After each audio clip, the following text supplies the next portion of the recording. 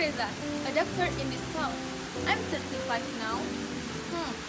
Before I tell you more, let's check this video. Hello, I'm Reza Fairuz Sikumbang, the first child in my family. I was born on December 17, 2001 in Bukit Tinggi. Currently, I live in Payakumbuh, which is known as Kota Batiah. My parents work in a hospital named Adnan Wedes Hospital, and my brother is a student in junior high school Raudatul Jannah.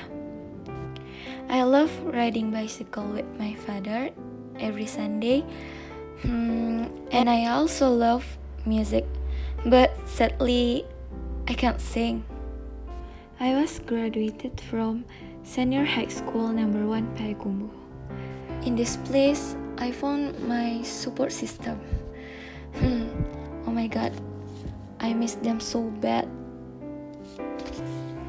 They are my sister from another mother who always support me until now. Hmm, I think that's all about me. See you. And now, this is me. I have a doctor, a house, traveling to Cappadocia, and a part cost business.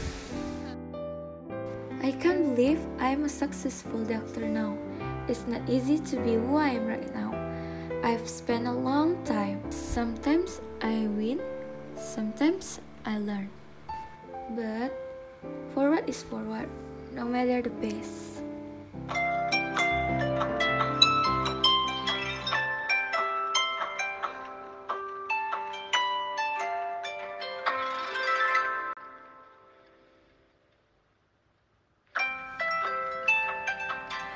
My god, I have a class!